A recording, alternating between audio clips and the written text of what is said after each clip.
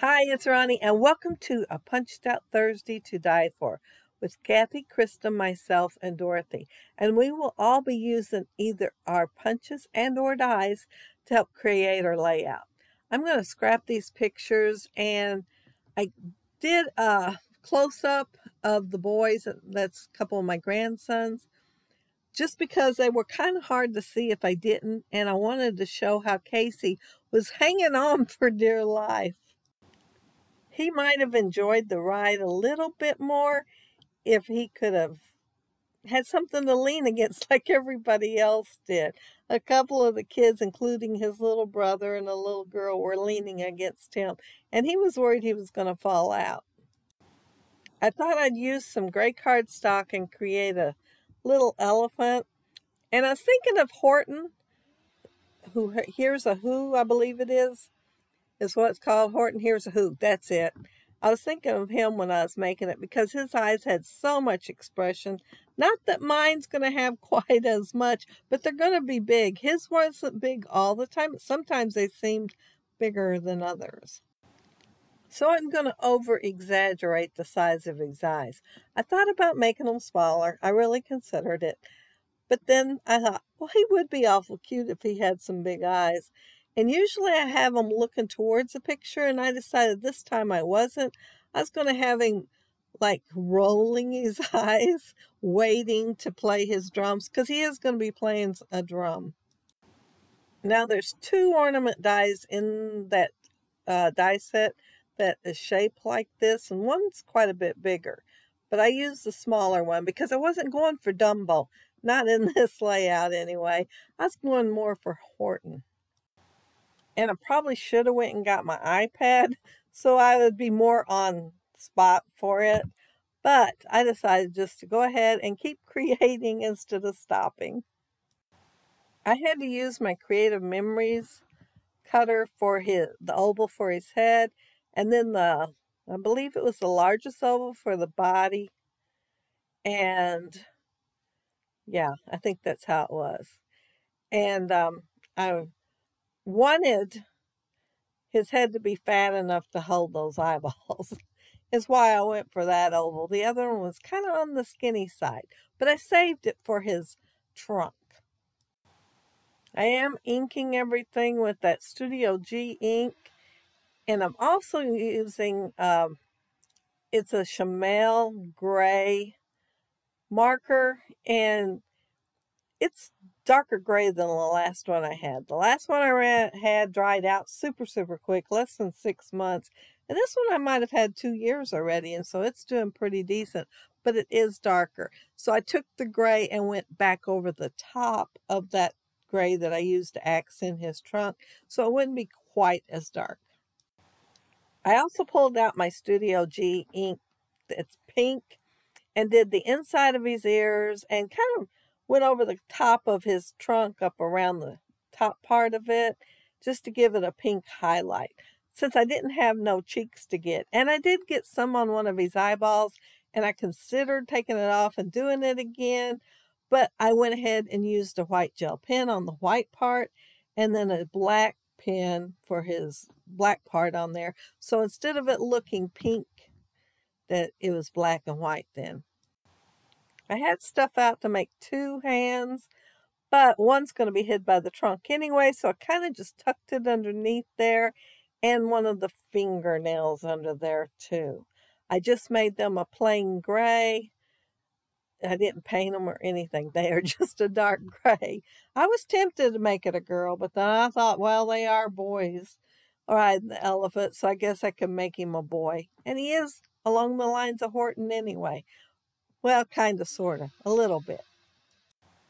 When I was doing a Christmas layout the other day, I was tempted to use this drum. I had it in my hand and everything. And I thought, hmm, I could save it for my layout with Horton and have him playing the drums. And I did, I was tempted just to make a drum, but that one is just so cute that I wanted to use it instead. And I put the drumsticks aside because I didn't think I'd be using them, but I'm going to pull them back and kind of put it in these little paw foot or whatever that is. Since I have a lighter blue stripe on the layout, I thought, well, I want to use some darker blue to accent it.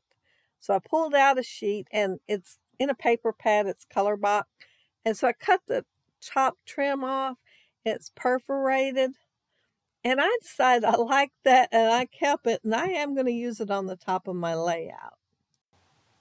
It is not very wide, but you can see that perforation really good along there. And I think it's a pretty good accent to it. And uh, I'm not sure the name of the punch that I use, the border punch. I've had a long time, but it made me think of circus. So I went ahead and used it. And I don't have any actual circus uh, collection or anything to use, but I'm going to try to give the feel of a circus on my layout anyway, just a little bit.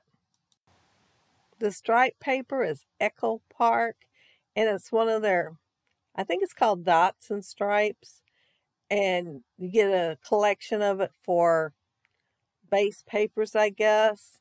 And I'd gotten it in the warehouse box last year before Christmas, and I still have plenty, mostly because I didn't start using it till a couple of months ago. I needed a, I think it was a pink plaid or a yellow plaid, and I pulled it out and I thought, why haven't I been using this?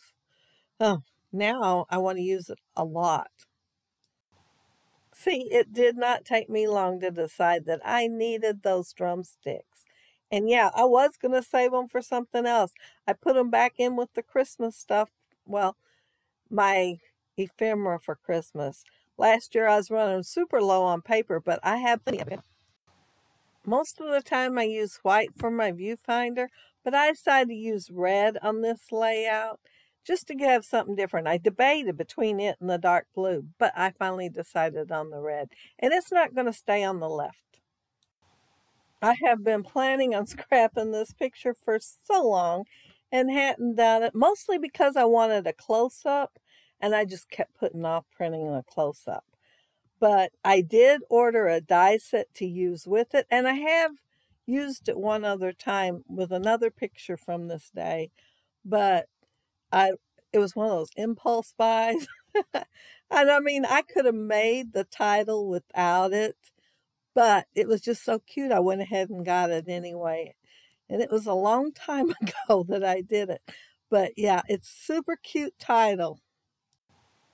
It is under the big top, but what I liked so much about it was the hat. And y'all know I could have made a hat to go on the bee. I don't know what I was thinking when I bought it, but yeah, I got it anyway. I thought that is cute and just click and yeah, I got it.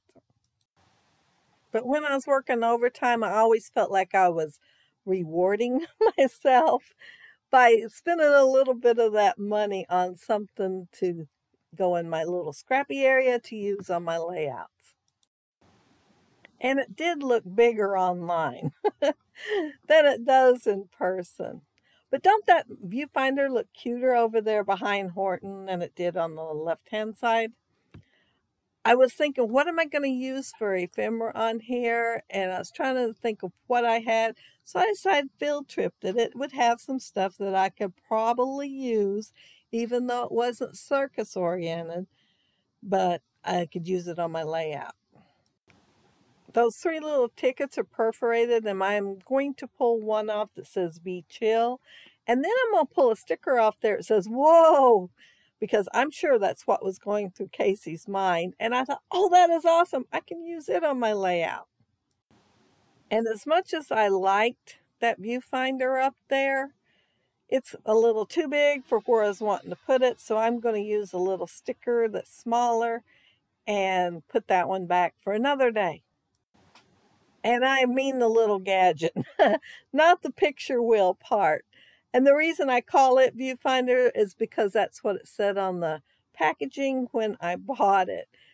Even though the other part really is, well, I think it's master viewfinder. And then this one's the, the round part's a picture wheel.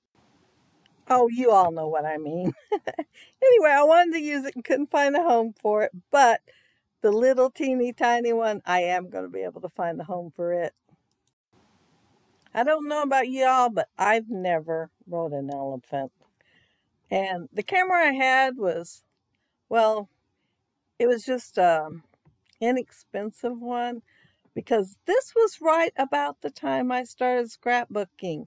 I wasn't taking the pictures to scrapbook them, I don't think. I think I was just taking them. But looking at Jake's age, yeah, I think it was right around the time I started scrapbooking. I pulled out my confetti star punch. Love, love, love that thing. If y'all don't have a star punch, you should get one. They come in really handy, especially doing boys' pages. And I only punched it out twice, and I'm going to scatter the stars around the page. Now, I kept looking at Horton's head, and I kept thinking, now, first I thought a hat, you know, like a pointed hat like Dumbo has. And I thought, no, I think they have like a little thing that comes to a point with a little bobble on the end. And so instead of a bobble, I used a tiny enamel dot and put a little red thing on his head.